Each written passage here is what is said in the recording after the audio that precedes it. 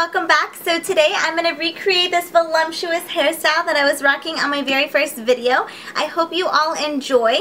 The curling wand that I was using is actually from my Bellami 6-in-1 Complete Curler set. The particular wand that I am using in this video is the Pearl wand within the Bellami 6-in-1 Curler set. And I'll go ahead and list a coupon code below in the description bar if you are interested. I hope you all enjoy this tutorial. So if you'd like to see how I created this look, then please keep watching. Let's go ahead and begin. I'm going to start by using my 6-in-1 Complete Curling Set from Bellami. Love it. That's the one I'll be using today. I'm going to brush my hair and just part my hair from the bottom to the top. Now I'm going to go ahead and split that section into pieces. Then when I bring it to the front, I'm going to be splitting that into sections again. And I like to use smaller pieces of my hair just because that gives me smaller curls and it allows me to achieve this look better. I am winding my hair on the one from top all the way to the bottom. I like to hold the wand with my left hand and I like to face it down away from my face because the curls are not going towards my face. They are going to be going away from my face and I don't switch it up at any part of the tutorial. I make sure that every single curl is away from my face. Now you are going to see me brush each strand before I curl it. It's really up to you and it's your preference if you choose to brush each strand but I just feel like it causes less tangles and it's easier to wind on the wand when it's smooth.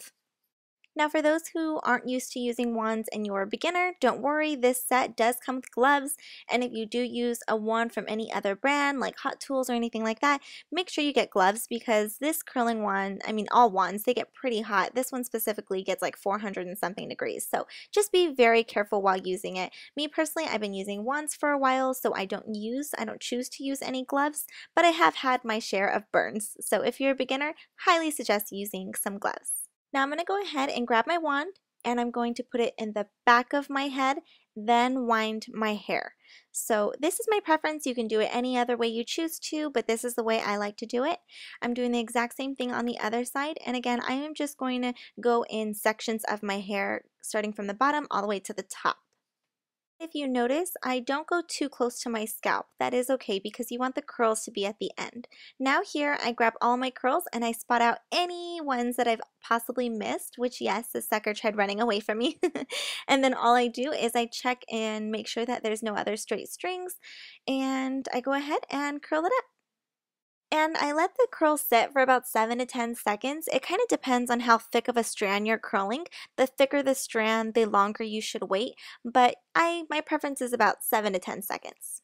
Then I go ahead and check to see if there are any um, straight strands on the other side. Here I'm going to go ahead and part my hair.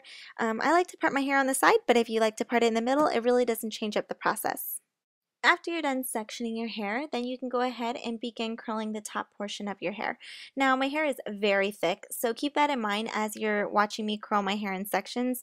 If you have thinner hair and your hair is shorter than mine, then the time of you curling your hair isn't going to be as long as it takes me. It takes me about 35 minutes to do my entire head. So here you're going to go ahead and see me grab a clip and I'm just going to move all of the straight strands away from my face so that it doesn't get mixed up with any of the areas that I'm curling. If you see me twisting any pieces of my hair, it's just to prevent any flyaways and then later finding any straight strands within my curls. Yay, we're finally done with half of our head. So now I'm to go ahead and do the exact same thing on the other side. I'm simply grabbing sections, clipping all of the extra hair that I don't want in my face. Then I'll be sectioning them off in smaller pieces and brushing, then curling.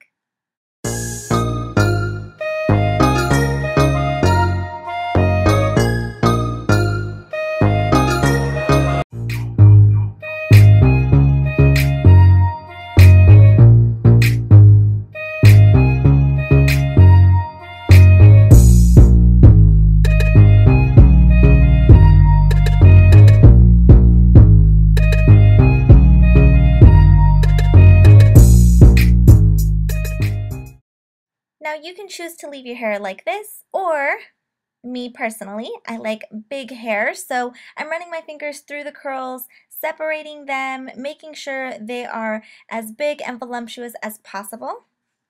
And as you can tell, this side is good, this side not so much. I'm doing the exact same thing on the other side, just running my fingers through the curls. Please keep in mind that I have no hair products in my hair, nor do I have hairspray. So that's why my fingers are going through the curls so quickly, as well as me brushing every strand. Here, I'm going to go ahead and use my hairspray, and the brand is in Sexy Hair. It's made with argan oil, so it's personally my favorite. It's not sticky, it doesn't make my hair rough, and it holds really well. So here I'm going to go in with a teasing comb, and I'm just simply teasing all of the areas that I want um, my hair to be bigger. I like to go in little sections. I think I only do like three rows here. I usually only do two to three rows because I don't want my hair to be too poofy. And if you notice, after teasing, I just flip my hair to the other side because I want the hairspray to dry. And when I, play, when I flip it over, it's going to cause more volume to the hair. Alright, now it's one of my biggest pet peeves when the top portion of a hair is super big and volumized and then the bottom is like very flat. So what I do is I like to hairspray the bottom and I like to get my teasing comb and just kind of tease the bottom just a little bit just to make it as volumized as the top so that it blends very well. After, I kind of scrunch it up just to make sure that all the curls are going to hold, just giving it some extra volume. And I'm going to do the exact same thing on the other side, just giving it a few sprays, teasing, then flipping. Spray, tease, flip. then I'm going to do the exact same thing in the back of my hair. Now keep in mind, I do like big hair, so if you're not a big hair fan, then I wouldn't even tease. I'd just run my fingers through the hair, maybe scrunch it a few times, and get give it an overall spray. And our look is officially complete. This is how I achieve my voluptuous curly hair. Hope you all enjoyed. Well, that about sums it up, so thank you so much for watching. I hope you all enjoyed this tutorial with all of my tips and tricks, and please feel free to give this video a thumbs up and subscribe to my channel if you are looking forward to seeing any future tutorials. Bye, guys!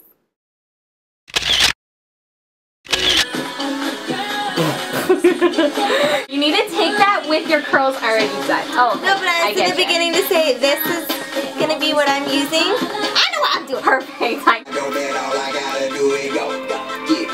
am not gonna put that in.